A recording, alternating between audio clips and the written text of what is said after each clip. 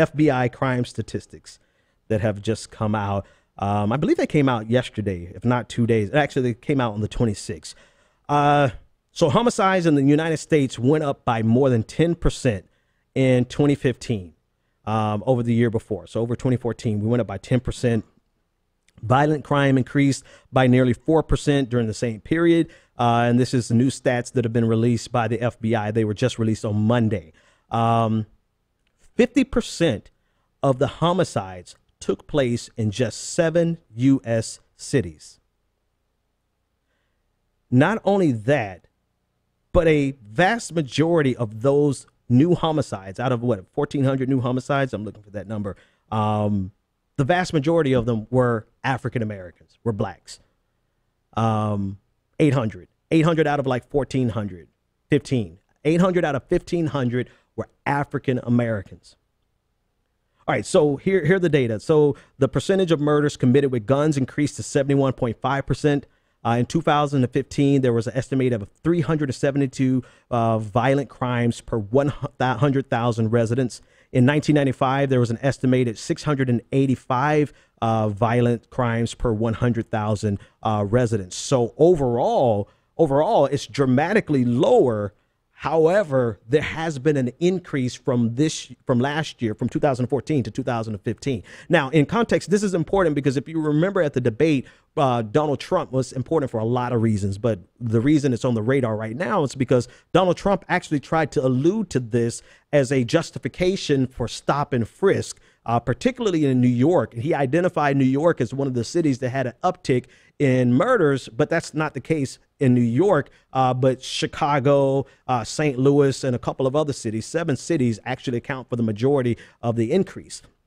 Um, so, um, speaking to uh, Loretta Lynch, the attorney, uh, U.S. Attorney General, um, speaking at a violence prevention conference in Arkansas, said, "quote Despite an overall increase in violent crime, 2015 still represented the third lowest year for violent crime in the past two decades."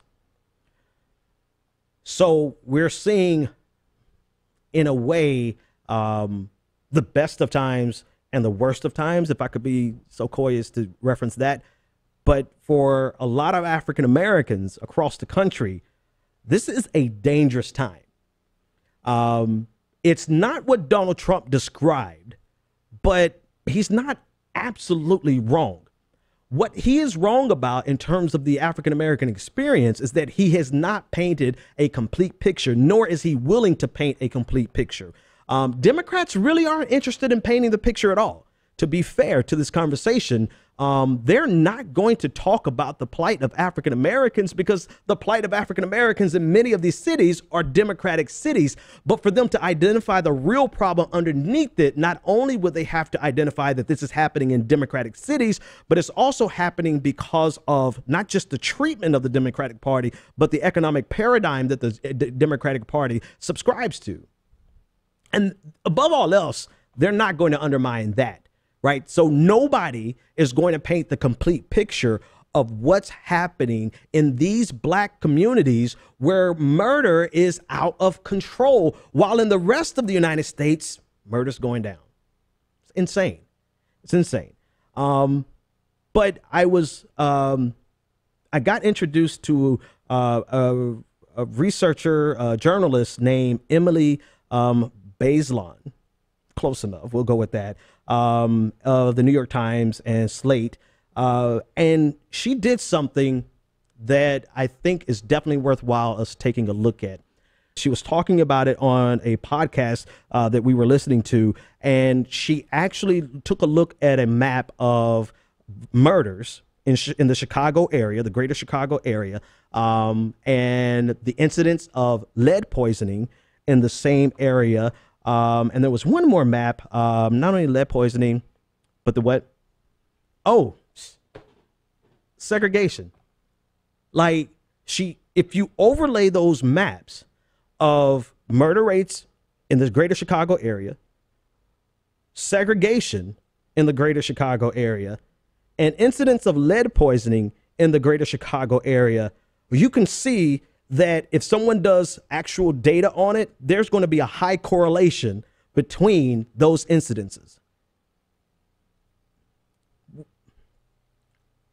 I want to repeat that again so that people can actually hear. Uh, and then I'm going to show you the, the maps, and then we're going to expand on it a little bit.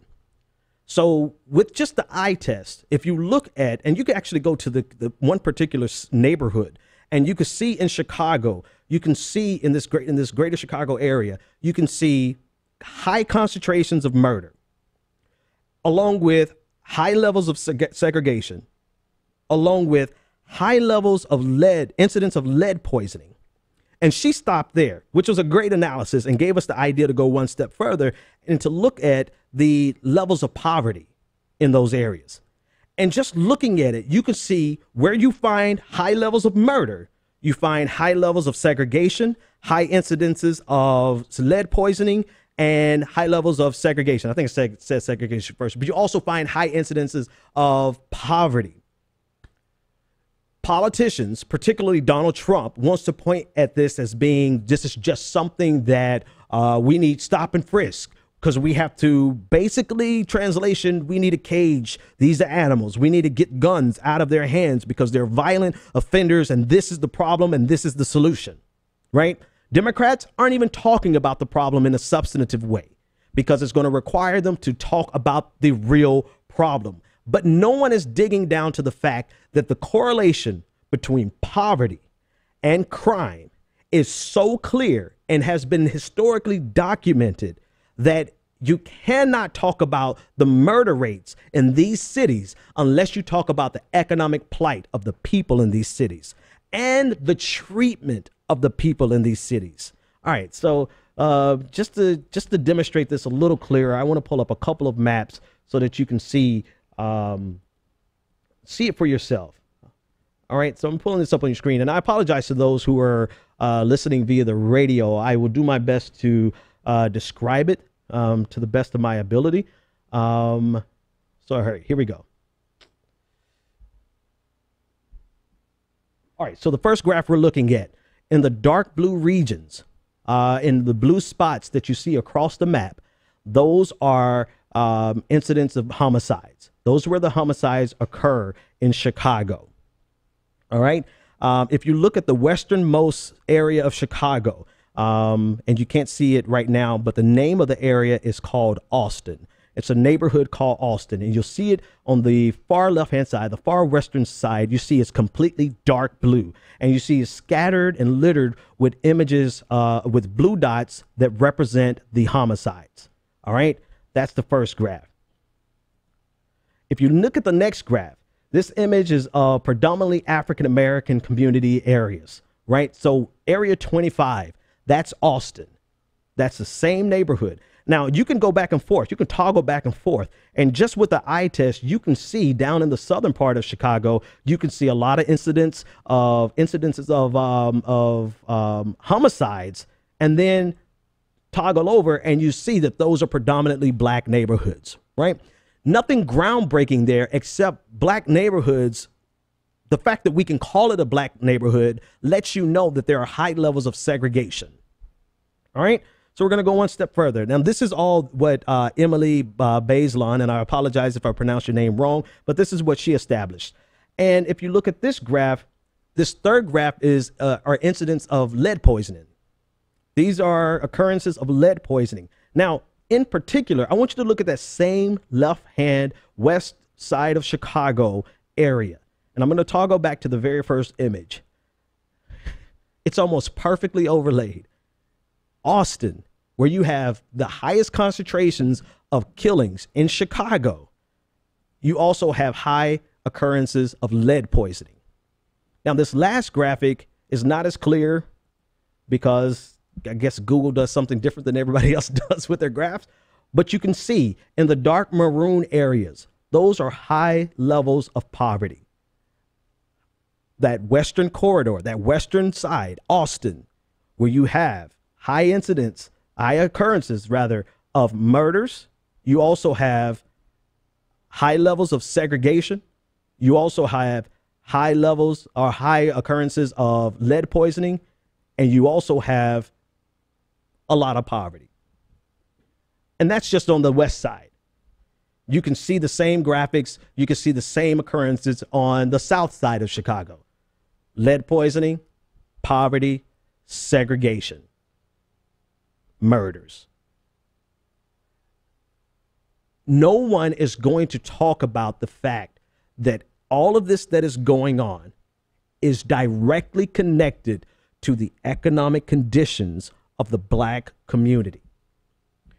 Donald Trump will say, oh, black people are poor, but he's not going to say why they are poor beyond the fact that what standard Republican orthodoxy suggests that black people are lazy.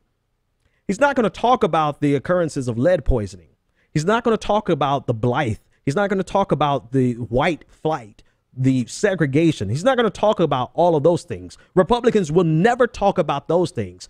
But hell, we can't even get Democrats to talk about it in the first place.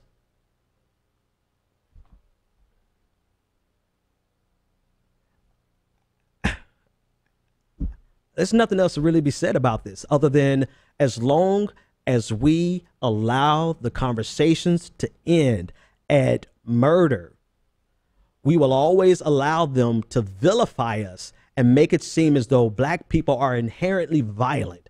Therefore, we need a national stop and frisk policy on communities of color, right? And they will never go to the fact that these communities have been so devastated and decimated by neoliberal economic by capitalism. So I'm tired of just saying neoliberal. It's a structural problem. It is the deindustrialization. It is the economic flight. It is the redlining. It is the underfunding of the war on poverty. So where you created homes originally in the 60s, you defunded it and allowed them to devolve into ghettos but they blame they blame this on the war on poverty saying by by creating the war on poverty here we created we created the ghettos. No the war on poverty didn't create the ghettos. It was the improper funding of the war on poverty. It was the the the all of the stages from the time LBJ signed it to the time of welfare reform where we gutted it even further. It's it's it's it's a it was designed no let me rephrase that it wasn't designed to create the ghettos, but opposition to it made sure that it was not properly funded and created a ghetto, a system that cycles and recycles and repeats itself over and over again so that that grandmother who was there in the 60s had a daughter who was in poverty. That daughter who grew up in poverty, she had a daughter who was in poverty. And it passed down from generation to generation. And where you have poverty, where you have poverty and blight, where you have poverty and mistreatment of by the people and by the police department and by public officials and politicians, you will have violent crimes. And while all these other neighborhoods are becoming are, are getting nicer, getting safer, you have these predominantly black neighborhoods who are not who are segregated, who are who are experiencing high levels of lead poisoning, who who high levels of of poverty, you're going to find these types of murders. But again, we're not going to talk about that.